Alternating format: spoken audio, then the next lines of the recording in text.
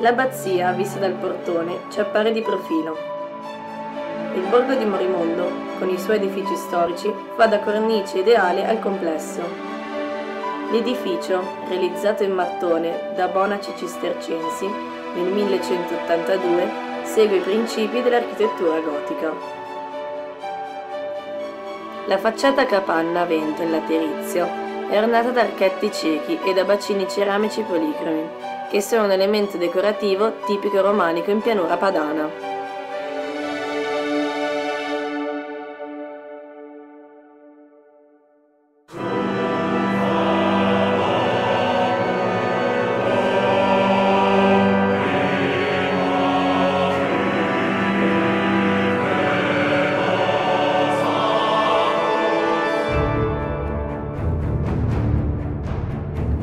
L'interno gotico è suggestivo e maestoso, illuminato da una luce mistica che entra da finestre circolari poste nell'abside, il quale presenta arcate gotiche a ogiva.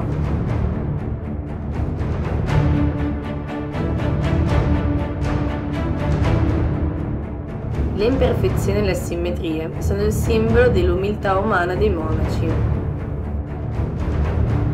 Nella zona absidale si trova un prezioso coro ligneo del 1500.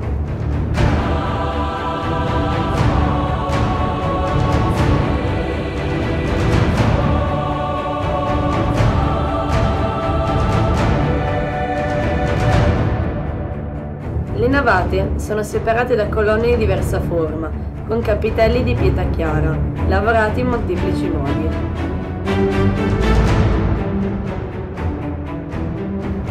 Intorno al chiostro medievale, centro spirituale del monastero, si sviluppano una serie di ambienti di vita monastica.